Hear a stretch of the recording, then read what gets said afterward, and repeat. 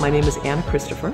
Now I'm a coach. I'm just starting up my business, ramping up after moving from a 25 plus year career as an executive recruiter.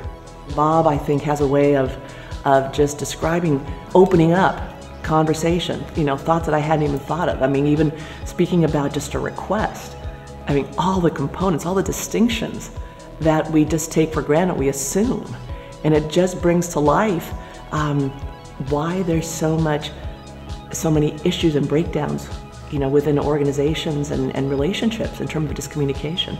I'm very excited to just kind of wrap my arms around all this learning and, and, and practice. And what I'm getting from FGL this weekend is, which is a little different than before, is just a real excitement to practice, just the beauty of practice.